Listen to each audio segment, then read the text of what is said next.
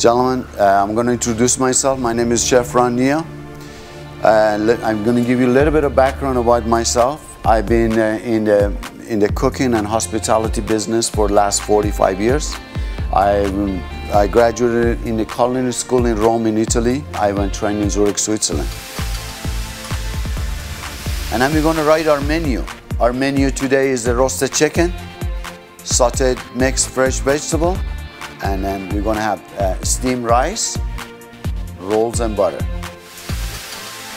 I blend my own spices. is a is a paprika, black pepper, garlic, onion, sage, and rosemary. You just take a pinch of this, lightly spice them this way.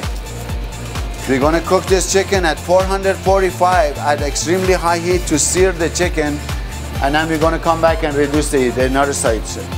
Perfect rice, perfect rice.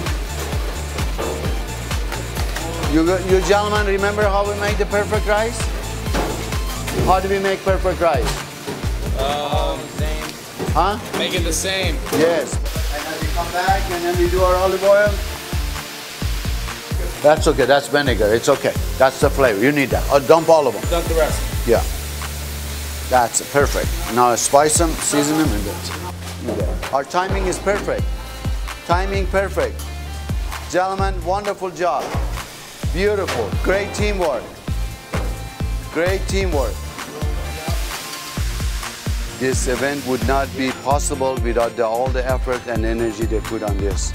I want to thank the Red Rock Canyon School, uh, uh, the students, the members, Falcon Ranch for serving, coming down and taking the time to come in and serve. Uh, I have the highest gratitude for everyone. I could not done it without them. I'm honored. Thank you. Thank you so much. Thank you. Thank you. Thank you. Thank you. Thank you.